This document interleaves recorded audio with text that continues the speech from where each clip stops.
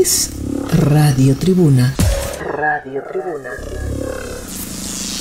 La radio de todos, transmitiendo directamente desde Nueva York, Estados Unidos. www.tribunaabierta.info Esta es Radio Tribuna. Radio Tribuna es la radio de todos que transmite desde Nueva York, Estados Unidos, y estamos en el programa Paraguay Ventanas Abiertas al Mundo, compartiendo con toda la audiencia paraguaya en la Unión Americana a nivel internacional.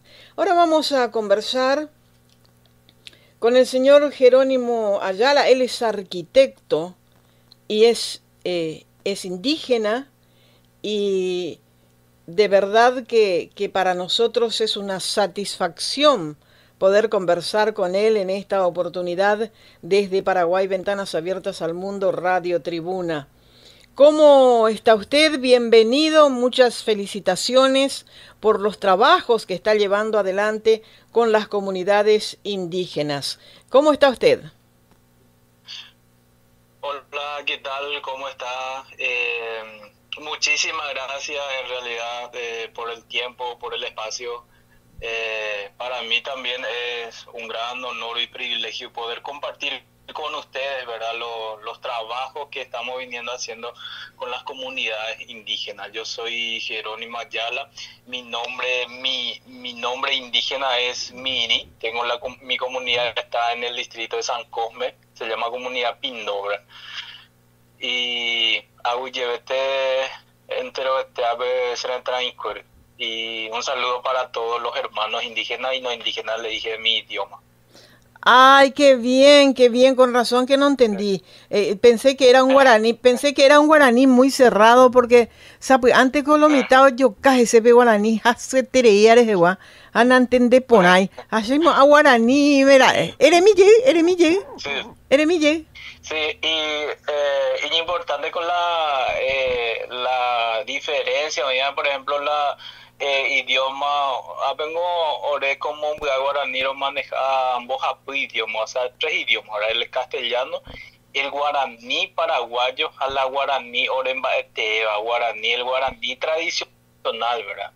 Oye, este será iba. Ese es el, ese es el guaraní tradicional, ¿verdad? Entonces yo le dije, eh, un saludo para todos los hermanos indígenas y no indígenas, ¿verdad?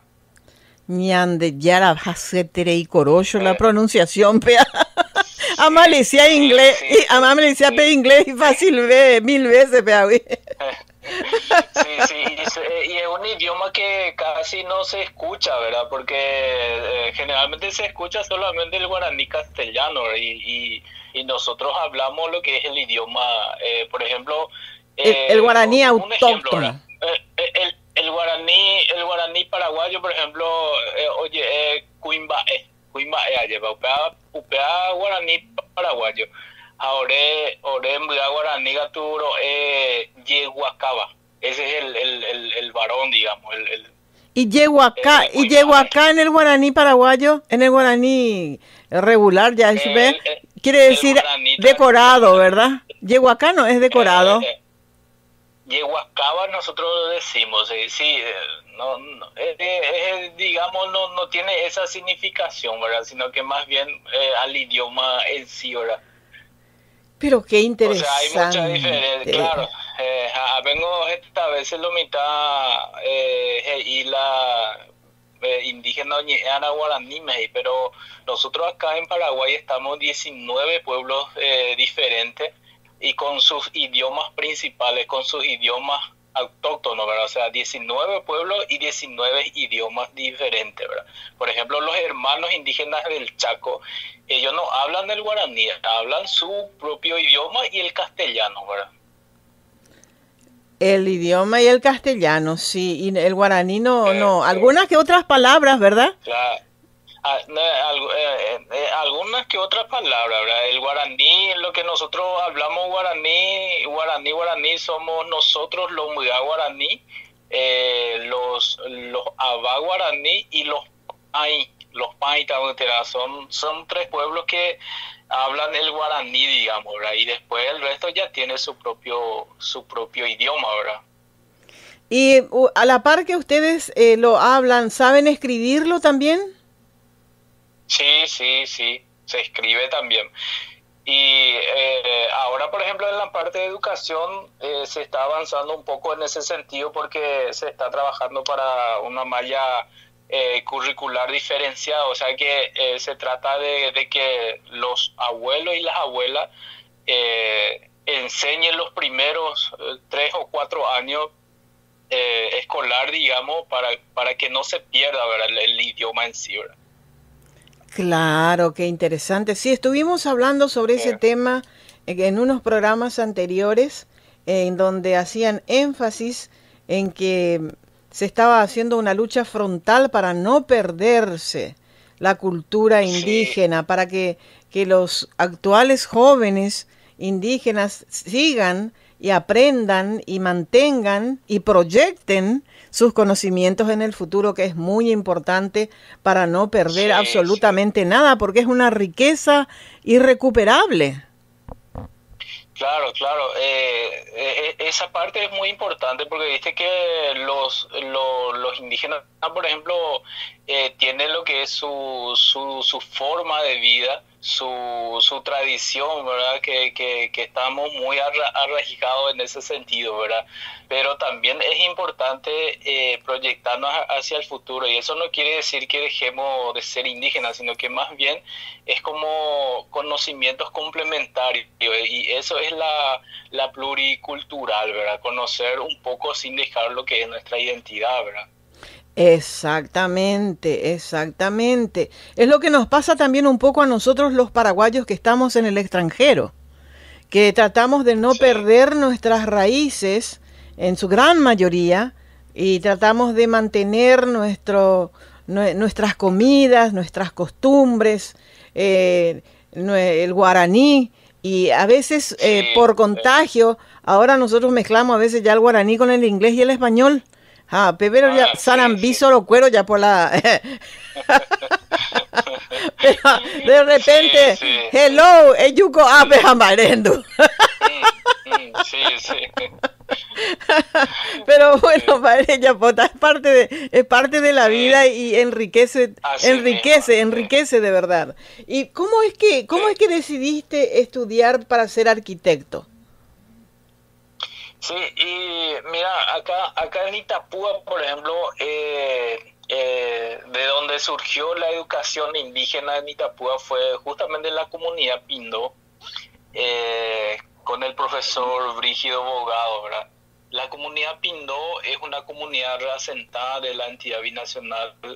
nuestros abuelos que estaban en la isla Yaceneta fueron afectados por la construcción de la represa, ¿verdad? Y como una obligación, la, eh, entidad compró una pequeña porción de tierra ahí cerca de San Cosme, ¿verdad? Entonces ahí se formó la comunidad Pindó en 1988 aproximadamente. Y de ahí fuimos surgiendo, ¿verdad? Eh, se armó la primera escuela, eh, ahí yo terminé mi sexto grado, y después para seguir estudiando ya salí de la comunidad, en, en, esa época era primer curso, hice mi primer, segundo y tercer curso en la, en la localidad de Coronel Bogado, ¿verdad? Y después de ahí yo elegí la carrera de, de, construcciones civiles en, una, en un colegio técnico, ¿verdad? Y terminé mi bachiller como maestro mayor de obra, entonces fue todo fue un proceso de elegir la, la carrera de arquitectura, ¿verdad? porque eh, tenía una parte ya un conocimiento técnico, y, pero más allá de lo que es conocimiento técnico, la arquitectura eh, abarca muchas áreas, ya sea eh, el, el, comportamiento del ser humano, ¿verdad? La cultura, las tradiciones llevan muy en cuenta eso, esos aspectos, ¿verdad? O sea que por eso me interesó bastante la arquitectura y obviamente que elegí bien la carrera porque la arquitectura en sí es el resultado de lo que es el conocimiento del hombre y su cultura en sí, ¿verdad? Y permite desarrollar su interior a través de todos esos que yo a veces le llamo cuando mi yerno está haciendo todos esos garabatos que hace, eh, eh, eh como unos sacan de su interior y está diseñando y está cambiando y aumentando y entre esos también tan importante como me dice él, nos, nos da un aplomo nos hace pisar tierra esta profesión, dice. Algunos son, profesiones son muy idealistas, pero aquí vos creás con tu realidad. Exactamente, sí, sí. Sí, y justamente eso, eh, el, la, el tema de tesis que yo había elegido era justamente arquitectura muy guaraní, ¿verdad? o sea que eh, recorrí las, todas las comunidades acá, acá en Itapúa, eh, digamos, haciendo entrevistas a los abuelos, a los líderes de cómo era, de cómo tenía que ser una vivienda muy guaraní, ¿verdad?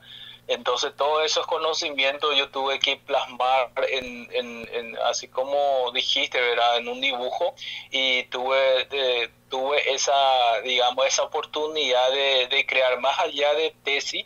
Es un proyecto, ¿verdad? Es un proyecto arquitectónico de, de mejorar las viviendas guaraní, pero con un toque de, de, arquitectura guaraní, ¿verdad? O sea, es una es una forma de poder fusionar lo, lo, tradicional con lo con la nueva propuesta, ¿verdad? Entonces esa propuesta yo hice en el 2011 era un, es un proyecto ejecutable, pero no se pudo no se pudo concretar porque lleva costo, ¿verdad? Yo tuve que presentar, por ejemplo, el proyecto en todas las en todos los ámbitos de decisiones políticas hasta hasta el poder ejecutivo yo tuve la oportunidad de presentar eh, para hacer un para hacer por lo menos un proyecto político eh, un proyecto piloto en, en una comunidad pero hasta ahora no, no, no tuvimos resultado verdad pero seguí golpeando puertas Seguí golpeando puertas. Sí, sí, No te canses, porque aquel que, que, que, se cansa y dice, bueno, ya no me hacen caso,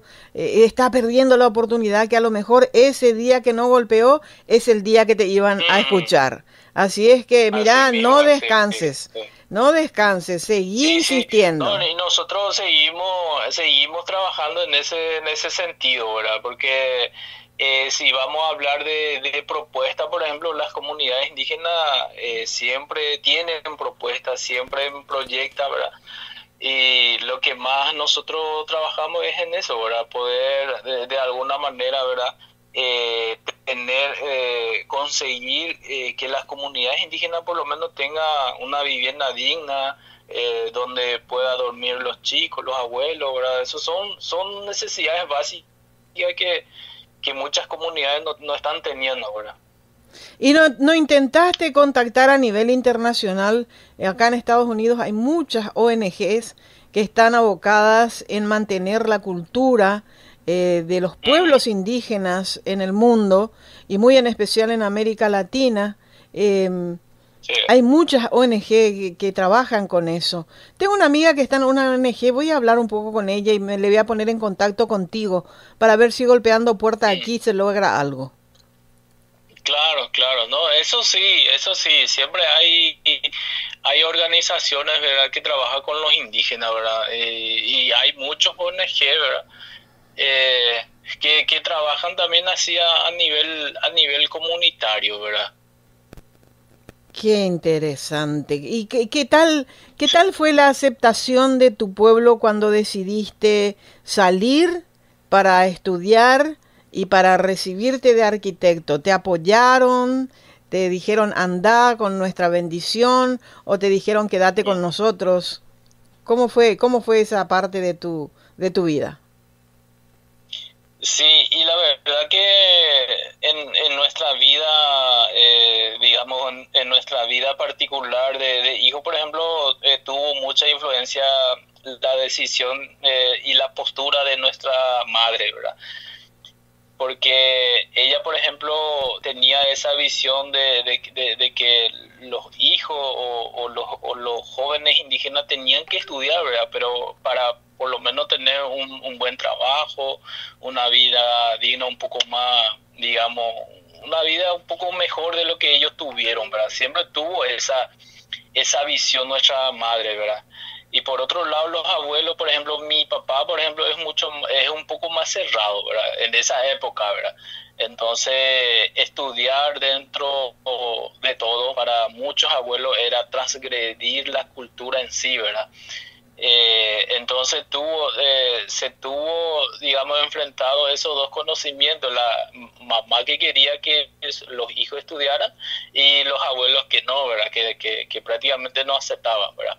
Pero dentro de todo, entonces, eh, nosotros tuvimos esa oportunidad de estudiar, nosotros, nuestra mamá, digamos, fue el, empuje de todo, ¿verdad?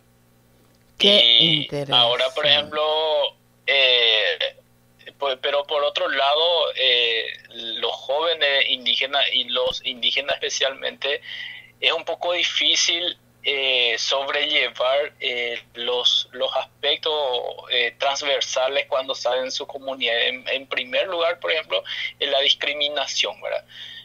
Eh, hay mucha discriminación todavía y hay muchos jóvenes, por ejemplo, que no, que no tienen esa fuerza para superar, ¿verdad?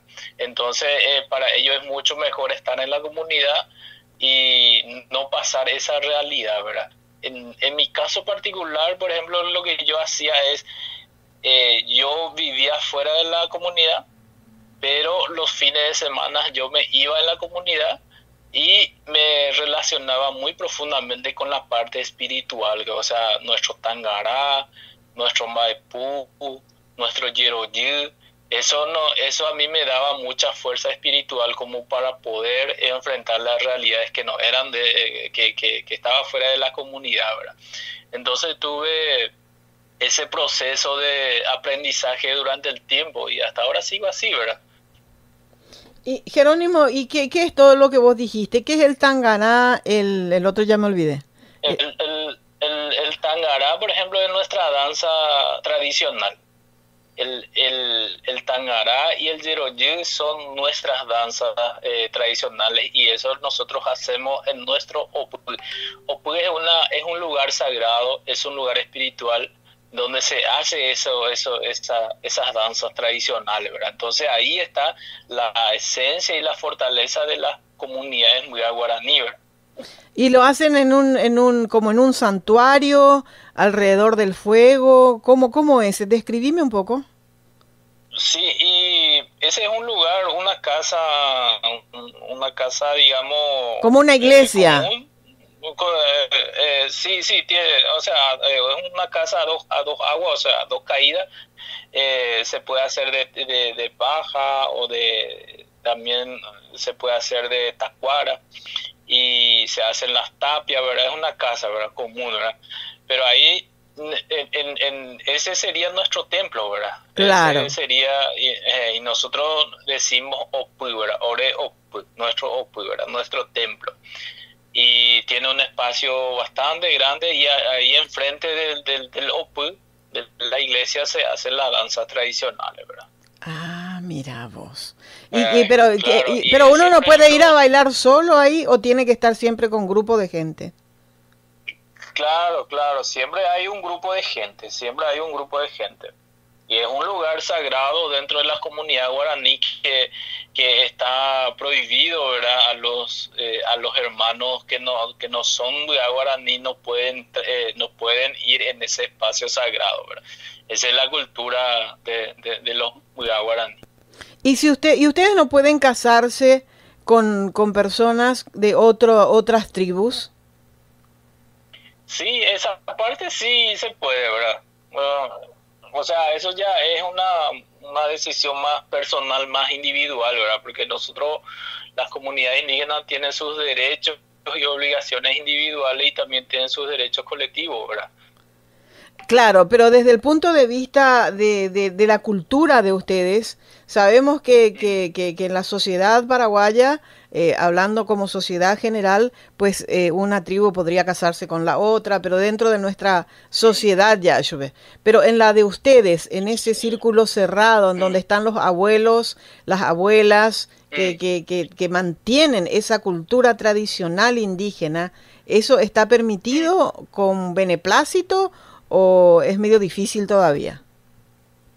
No, no, eso está permitido, ¿verdad? Por eso yo le decía, ¿verdad? Dentro de todo hay algunas cosas que se respetan y hay otras cosas que depende de cada persona, ¿verdad? Entonces eso ya eso ya es una decisión personal de cada uno, no, no, es tampoco una cultura muy cerrada, muy cerrada, muy lineal eh, eh, en ese sentido, ¿verdad? Por eso es que mucho ahora, por ejemplo, que eh, siempre se, se, tiene ese pensamiento, ese conocimiento, ¿verdad? Que los indígenas no tienen que estudiar, ¿verdad? Que tienen que ser de la selva, ¿verdad? En, yo, por ejemplo, en, en, mi, en mi recorrido hasta ahora, ¿verdad? He escuchado muchas opiniones, muchos muchos comentarios. lo más fuerte que escuché es que eh, dijeron que los indígenas, ¿por qué tienen que tener un baño moderno? Decía, ¿verdad? Eh, los indígenas hacen sus necesidades en la selva, entonces así tienen que estar, así tienen que vivir. Entonces, eh, hay, hay pautas que se deben respetar y hay pautas que no, ¿verdad? Entiendo, entiendo. ¿Cómo, cómo, cómo fue eh, el recibimiento que te dieron de cuando te recibiste y fuiste con tu título de arquitecto a mostrarle a tu mamá y por supuesto también a tus abuelos? ¿Qué te dijeron? Mm. Eh, Pero qué lindo. Eh, eh, tuvimos una reunión bastante grande, yo me acuerdo, eh, estuvimos eh, compartiendo y, y desde mi punto de vista y desde mi postura es que yo le demostré a los abuelos que, que al final no era, no estaba fuera del lugar que nosotros, que los indígenas se formasen fuera de la comunidad, ¿verdad? Porque yo, por ejemplo, eh, puedo ser arquitecto, puedo ser ingeniero, puedo ser un astronauta, pero nunca voy a dejar de ser un guaraní, ¿verdad?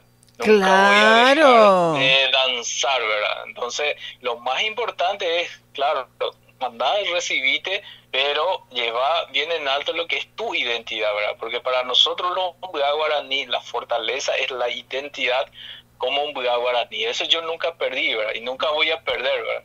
Entonces, eso fue lo que yo demostré a, a, los abuelos que eran un poco más cerrados, ¿verdad? De, y muchos chicos ahora están estudiando. en mi comunidad, por ejemplo, hay 6, 7 que están terminando su sexto curso. Tenemos 41 comunidades y en 22 comunidades hay escuelas. O sea, van estudiando los chicos poco a poco, ¿verdad? Qué interesante. Y Jerónimo, eh, ¿Dónde estás trabajando actualmente con tu, en tu profesión? Yo tengo mi oficina particular eh, en, la localidad de Cambuneta, es un distrito vecina de, Encarnación. Ahí tengo mi oficina particular y también, eh, digamos, siempre fui eh, funcionario también. En una época yo era fiscal de obra en Senávita, ahora es Ministerio de Urbanismo y también soy fiscal y proyectista en la entidad. Esos son la, los, trabajos que tengo.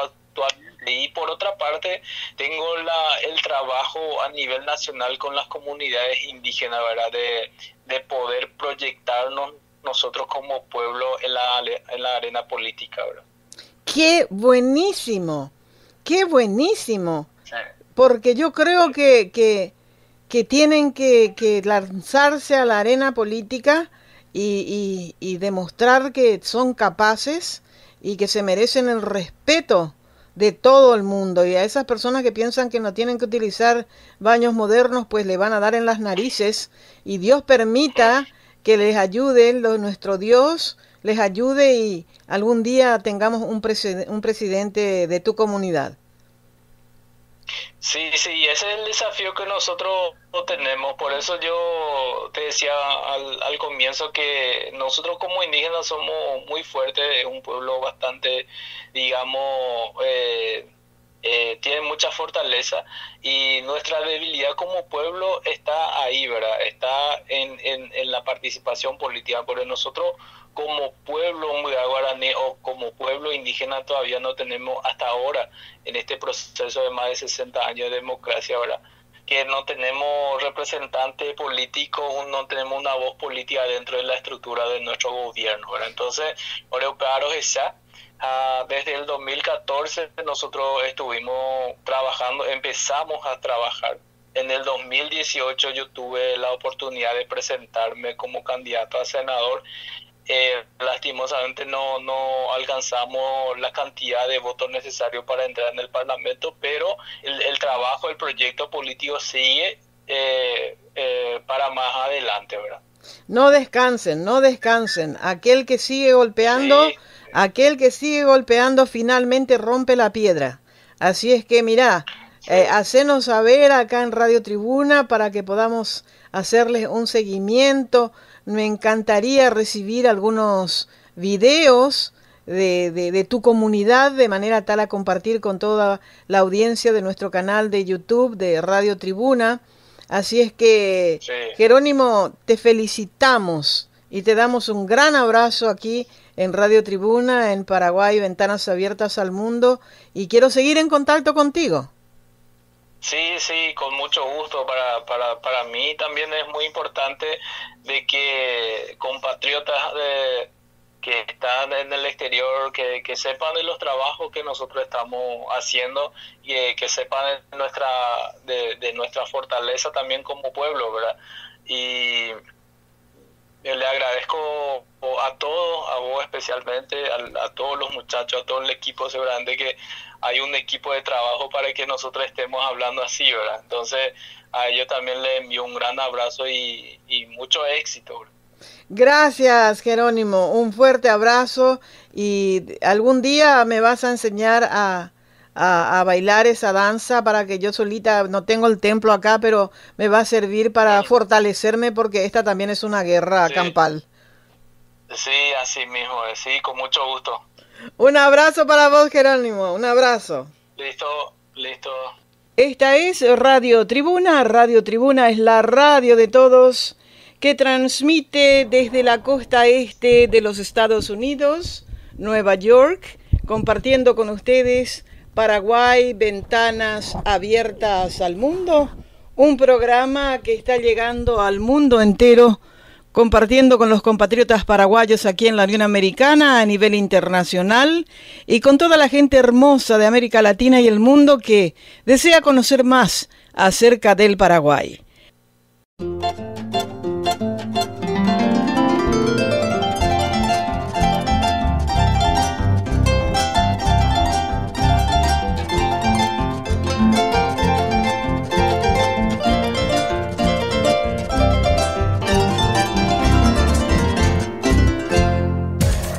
Esta es Radio Tribuna.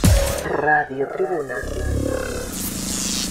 La radio de todos, transmitiendo directamente desde Nueva York, Estados Unidos.